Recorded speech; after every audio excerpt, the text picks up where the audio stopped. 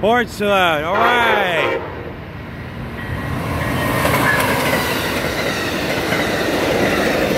Forty-six fourteen. Northbound Amtrak train. That train starts out in New Orleans, Louisiana. Stops between Louisville, Kentucky and Chicago, Illinois. And Detroit and terminates in Detroit, Michigan.